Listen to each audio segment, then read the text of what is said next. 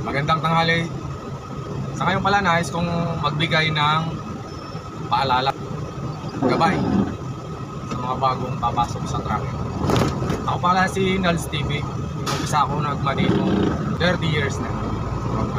Pumasok rin ako sa mga construction. Sa construction kasi doon mabilis yung ano, mabilis yung mabilis ka matuto kasi maraming pagkakataon na makakapag training ka or ma magagabayan ka ng mga. Hindi. So ngayon, nais kong ibahagi sa mga baguhang driver ang sampung mahalaga na natutunan ko sa aking pagmamaneho sa aking tracking career. So ngayon, kung baguhan ka pa lang, para sa iyo ang video na to. Ito ay mabibigay paalala ko. Gabay, maging gabay mo.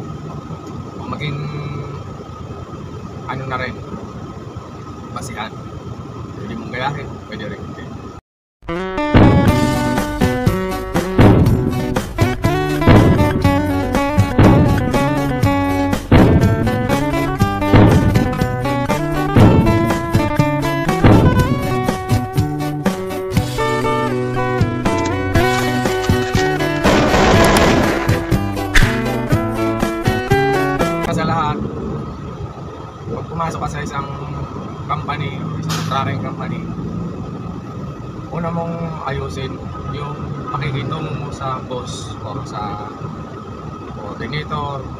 supervisor, kung sino man yung naghahawak o nag-handle sa iyo bilang isang driver. Ito kasing paraan, madali mong makilala yung yung boss. Kaya malalaman mo kung ano yung pagtrato niya sa isang tao, kung paano niya mag-handle siya ng isang empleyado or isang trabahador. So yan, importante yan para rin ano, tsaka yan nga, pagka ganyan ginagawa mo, sasabihin mo lang lahat ng problema ng problema ng mga kulangan sa sasakyan mo, sabihin mo agad sa kanya. Kasi isa rin ng paraan yan para mapagkatiwalaan ka. Ang pagsasabi ng totoo ay magandang ah, halimbawa or isang ano ng isang empleyado. So dapat wag kang agad, wag kang nagsisinungaling. Dapat sabihin mo para madali ka niyang pagkatiwalaan at saka makuha mo yung suporta niya bilang boss o bilang supervisor sa site.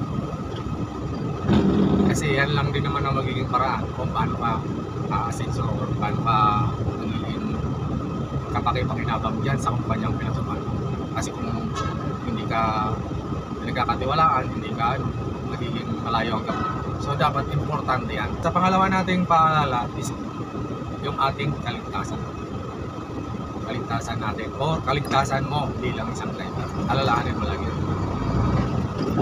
Kasi kung minsan, meron pagka mga meron ka nang nararamdaman, nararamdaman na alam mo medyo bumibigat ang pakiramdam mo at parang nahihilo ka, hindi mo kaya mag-drive ito at magpahinga. Isipin mo lagi ang safety mo. Kasi dito, ang may reserve pa lang or mga spare part, yung truck lang. Tayo pagka. Minsan kasi tayo. Wala tayong kapalit or wala. Spare parts na yung kapalit sa atin. So yan, pinaka-importante yan. Dapat lagi tayong safe. Kumbaga sa ano, mararamdaman natin yan. Ang pakiramdam natin, ang magbibigay ng babala sa atin kung minsan makikita nararamdaman parang nahihilo-hilo ka o parang kinakabahan ka o hindi mo maipaliwanag yung pakiramdam mo pwede ka buminta at magpahinga Ah, isipin mo basta mailagay natin ang ating sarili sa safety huwag tayo yung para-para kasi ang kalsada isang napaka napakaraming pwedeng mangyari dyan. Dahil kahit na ganong pag-iingat mo, mayroong mga ibang driver na hindi nag-iingat. So, huwag na tayong kumain. Sa pangatlo natin paalala ay ang ating kalusugan. So, sa bilang isang driver o bilang isang biyahero, lalo na sa mga pangkumplikong sasakyan, pinaka-importante sa ating pangangatawan o malusog na pangangatawan. Kahit na ano, lagi nating isipin yung ating mga katawan. Kasi minsan yung mga ating mga marga o lalo na yung may mga pasahero tayong mga kasabay. So nakasalalay sa ating kalusugan pangangatawan. So dapat isa lang alang din natin. Isan, yung pansin natin. Parang tumatama na ako ah. Diet, exercise, tsaka kumain ng masasarap. Pag alamin mo kung ano mga kulang sa katawan mo, ano yung mga kailangan ng katawan mo na pagkain. So, dapat ma malaman mo yan para yan lagi ang ayan ang may dagdag natin. Hindi lang tayo kumakain na para mabusog. Dapat isipin din natin kasi ang kalusugan natin ay isang kasangkapan ng isang driver yan. Dapat lagi tayong malusog kahit saan man tayo. Mga nag-a-apply. Yan. Importante ang appearance natin. Mayroon kang ano, pwede ka mag-vitamins. Kumain ng masasarap. Tapos, huwag magpapalipas na gutom. Minsan, kung halimbawa, puyat ka, ano ka ng oras mo para makatulog, pagpahinga. Importante yan sa kalusugan din natin.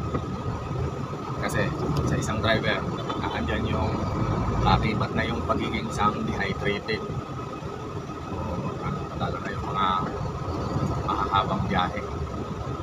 Kaya mga naging sakit, yung yan dapat isinasaalang-alang natin yan para sa ating kalusugan. Panglima, dapat alam natin na sa mga dinideliveran natin or sa mga pinagpaparkingan natin minsan nag-stop over tayo para sa minsan meron tayong pagkainan meron higuan lahat ng ano lagi nating isa-isip yung safety naman ng ating truck kasi malugar na magnanakaw, may magnanakaw, may mga nakikialam, minsan may mga piyesa-piyesa kinukuha nila kasi mga starter na yan, battery, minsan pati mga reserva. So, alamin natin yan. Bago tayo maging kampante, alam dapat natin yan sa isang lugar o sa ating pinagpaparkingan.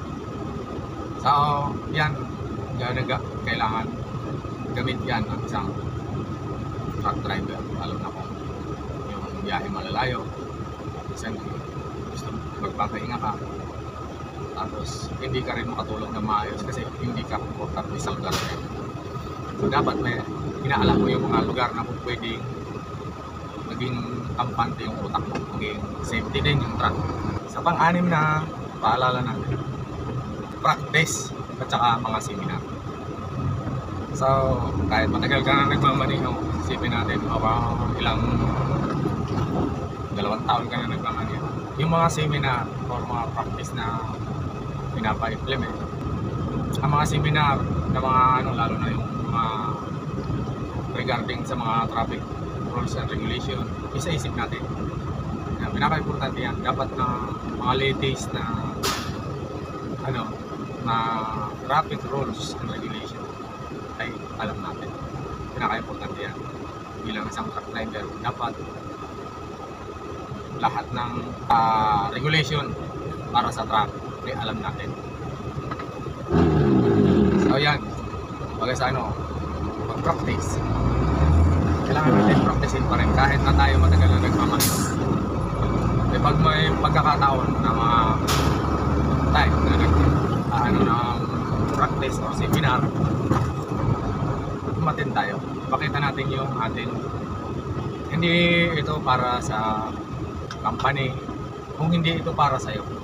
Para ma ma-relay ka doon sa mga bagong patakaran, bagong modelo ng sasakyan. Yan, importante yan. So, dapat may alam tayo. Kaya minsan, kung may bagong ano, kung magkakaroon ng pag-practice, try natin mag-practice. Lalo na sa ngayon, mayroong mga mga bagong modelo, mga bagong technology, mga bagong invention, mga truck or mga ina-upgrade nila. So dapat mayroon din tayong training sa mga ganito. Kasi yung mga sinauna, minsan pinapalitan nila yung mga modelo. yun. So dapat mayroon din tayong training doon sa mga ladies. Ayan. Kahit minsan, nung pag nagbago tayo ng unit, bago paggamit ng unit, minsan eh, mapapanibagwan tayo. Kaya kailangan natin i-apply yung ating practice. Hindi pa tayo maging kampante na mag-drive. Dapat practice pa lang ako. Ah, one week or one month, dapat feeling practice ka pa lang para makakabisado para maiwasan na kayo makasira tayo.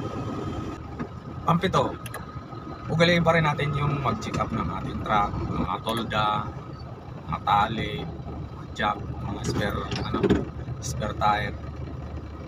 Importante yan, la, dapat lagi natin yung check up. Pag may pagkakataon, langis, tubig, tubig ng battery, huwag nating ipag walang bahala ang pag-check up. Tulad na natin dyan, yung mga gamit natin bilang isang driver, minsan mga damit natin, importante yan para pag mga, mga layong biyahe, pagkain natin, just in case na magkaroon ng traffic, aberya, meron tayong makakain. Laging handa. Ang pag-check natin is hindi yung makita lang natin, eh, ganito ganyan. Yung pag-check natin na para maging handa. So, yan ang isang purpose ng ating pag-check. Kasi meron nag-check na. Oh, may nakita, nakita ko. Nakita ko. Pero, upin natin kung kaya ba niya, lalo kung kaya yung biyahe natin. So, yan. Dapat ang pag-check yung may ika-quality natin o ika-quality control natin yung ating mga kagamitan or kasangkapan bago tayo bumiyahe. Ah, pag mga ano, pagkakataon, laging ganyan dapat. Huwag natin kalimutan ang pag-check. Sa pangwalo naman, ito yung bagay na natutunan ko. Huwag mong i-mention or huwag mong bibigyan ng palugit na dapat makarating ako ng ganitong oras sa akin pag-deliveran. Dapat makakuha ko yung ano, makarating agad ako ng ganitong oras para ma iwasan mo yung gano'n. Kasi sa ganun na ano, magdi-divide yung utak na ng isang driver. Tungkol dun sa hinihit niyang oras na pagdating doon, eh samantala kung chill ka lang, eh kung makarating mo hindi, or ma, ma, maaga o ating gabi na ako makarating, walang problema. Importante, dapat safe yung ating biyahe. So wag natin bibigyan ng ano, yung iba, minsan, lalo na sa mga kumboy-kumboy, ah, bilisan natin at ganito ganyan para maunahan natin sila. Yan, isang iwasan ng isang truck driver. Natin bibigyan ng mga ano yung oras. Kasi ang pag-iisip natin, yung ating kondisyon, ang nagbibigay ng ano, time sa atin na kung gaano tayo kabilis mag-isip, gaano ka kabilis tumakbo yung ating kasi sa pagmamaneho, ang takbo ng sasakyan dapat ganun yung kabilis ang takbo ng isip natin. So dapat hindi mag maglalayo yan. Ayan, iwasan natin yung mga, minsan kasi may mga, eh, si ganito, limang oras niya tinakbo yung mula dito hanggang doon sa Batangas. Eh dapat i-hit mo na ganun. Iwasan natin. Walang problema kung hindi naman tayo babayaran bilis tayo. Hindi tayo, hindi lalaki ang sundo natin kung importante, maigating natin na maayos. Good na tayo sa ganun. Huwag na tayong maghangad na kung masabi lang na magaling na driver, masabi mo gwapong driver. o kahit na sabihin ka ng akpaw. Okay lang yun. Basta importante, hindi tayo nakikipagkarera at inaayos natin yung ating biyahe, ang pagmamaneho. Yan ang pinaka-priority natin. Huwag tayo dun sa mga sinasabi nila dapat ma-hit natin yung mga sa akin pag maneho, iniwasan ko yan. Sa pangsiyam natin dapat masusing paghahanda. So kung mapapansin nyo, mayroon tayong mga toolbox, maraming mga cabin dyan, may mga cabinet na ano, lagayan. Lalo sa mga malalayong biyahe or ano, dapat nilalagyan natin yan. Just in case na magkaroon tayo, masiraan tayo o magkaroon ng aberya yung ating sakyan, may dala tayong tubig, uh, hindi natin pang saing, saka pwedeng panligo, ganyan. So dapat yan, ginagamit natin yan para malagyan natin ng mga ano yung ating pinaka-importante yan.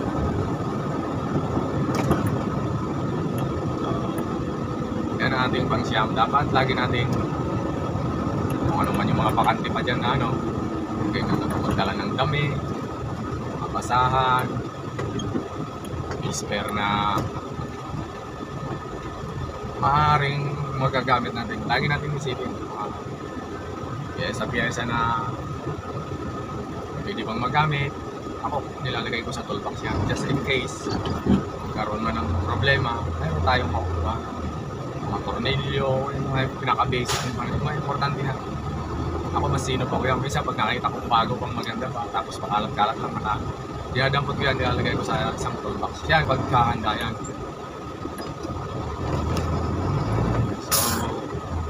Isang kailangan natin na ginagamit yan, lalo sa mga long drive, sa mga layo biyahe. Ating pangsambungan sa ating pagbabiyahe, sa ating mga pinupuntahan, importante na may communication tayo, communication tayo sa ating pamilya. Asawa, anak, nanay, yan. Kung wala ka bang asawa, nanay. Number one yun. Ang minsan, pagka minsan na nakakaramdam ka ng nalulungkot ka, tawagan mo sila. Pupustahin mo, sabihin mo kung nasa ang lugar ka. Isang napakagandang ano yan. Then, makaka-receive ka ng mga message na, oh, ingat ka. That's the very good message. Ingat ka sa pagdadrive. Ah, gabayan ka ng Panginoon sa iyong pagbabiyahe. That's ah, ayan ang mga pinakamagandang message na marireceive mo. It's very good. Kumbaga sa ano, palalakasin niya yung loob mo, spiritual na ano mo.